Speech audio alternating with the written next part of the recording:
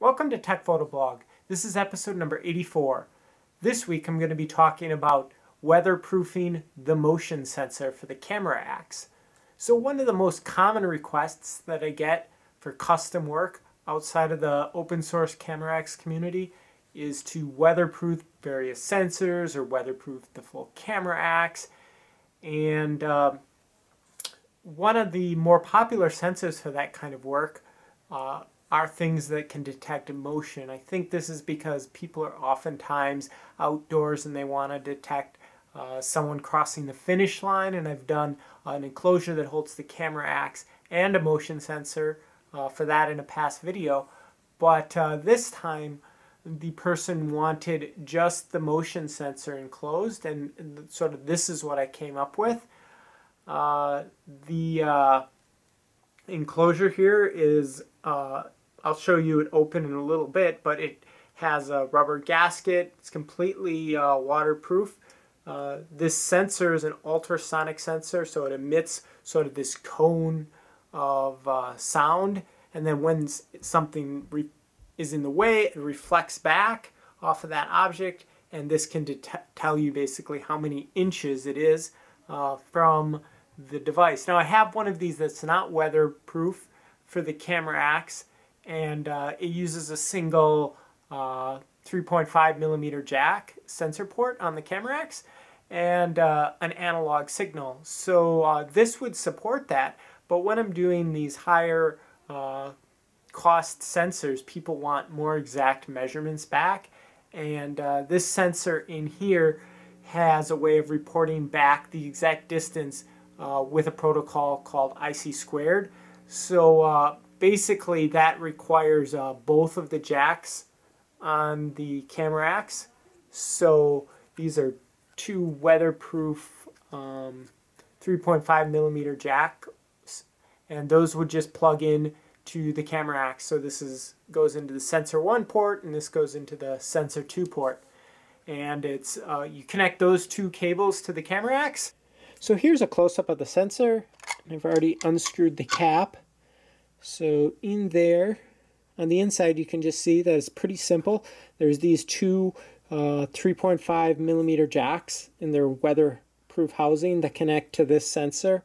Uh, then I hot glued uh, around this sensor um, module just to keep these cables from uh, eventually sort of breaking loose. Uh, it's hard to see. In fact, I don't think you can see it, but there are two 1K resistors that I'm using as pull-up resistors on this module so that you don't need to modify the camera axe and uh, that's works works quite well. Um, I have a schematic. I'll show you how those are actually wired into this uh, device uh, in a little bit. And there's the waterproof ultrasonic sensor. Um, here on the bottom, there's a quarter inch aluminum plate that uh, is threaded with uh, quarter inch threads here. It's the same threads that uh, standard tripod has, so you can mount this to a tripod, which seems to be the most convenient way to mount these sensors. Here, I've already mentioned these are just uh, 3.5 millimeter jacks. Um, both of those will go to the camera axe. And that's pretty much it for this.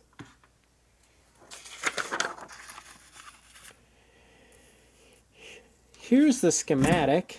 Zoom in a little more. So I'll put a copy of the schematic in the uh, files on the show notes.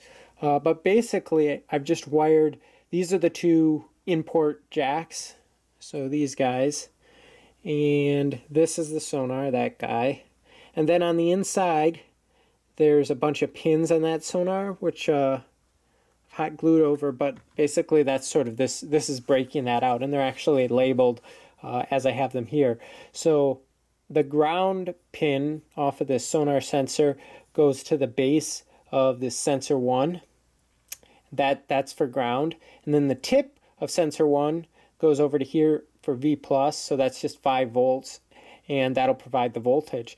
Now, inside the sensor, I put these two 1K resistors.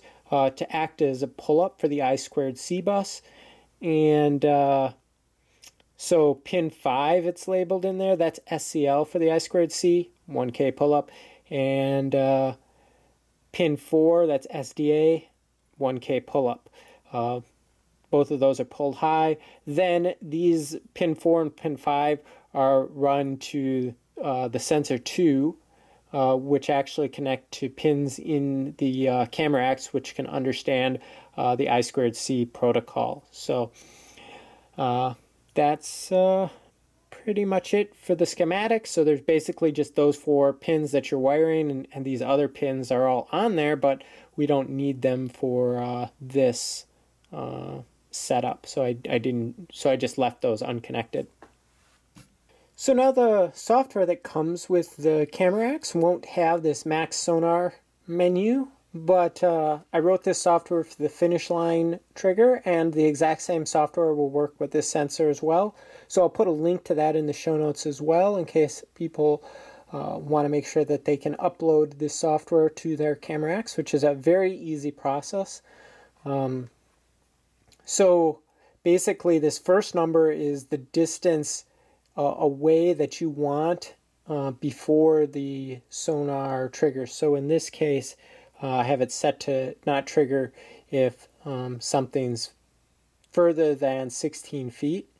Um, in this case, this number here that changes every once in a while, uh, right now it's a 3, uh, that's the distance to the object that it's detecting. So if I take the sonar and point it somewhere else in the room, over there there's nothing, so it detects nothing. And if I put my hand right in front of it, you can see it drops down to zero. So that's basically detecting the distance. Uh, it's programmed in feet right now, but um, that's pretty easy to change if you look at the software, which are all open source. Uh, delays for your camera, usually that's going to be zero. Uh, low latency, that basically sets the camera's uh, autofocus on continuously, and usually your camera is going to be in, in manual focus mode. Uh, so this just sort of keeps your camera in a high energy state.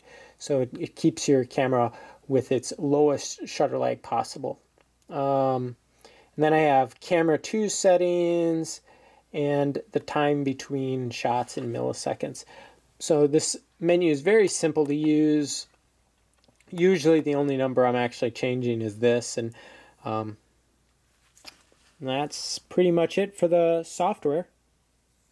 So just out of curiosity, I started taking some of these pictures of birds with this sensor. It's a very taxing task to, to photograph birds in flight uh, because they're moving really fast and your camera has a bunch of shutter lag built into it. But uh, I sort of set it up for you know, a couple hours and I got a, a, few decent pictures out of it. I will say that I watched it for a little while and it was missing a fair number of birds. In general, this sensor is best for larger objects. The people who typically use this are using it for detecting people crossing a finish line um, or larger uh, mammals and things. Birds, kind of tricky, but it does work, uh, as you can see. And uh, really uh, quite happy with how this sensor turned out. Thanks for watching.